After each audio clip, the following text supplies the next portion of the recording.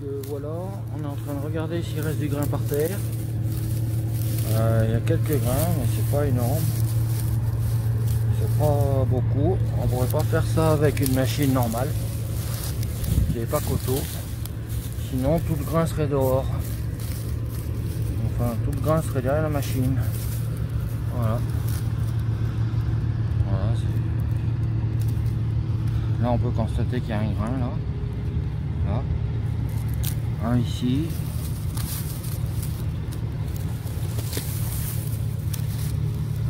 Euh.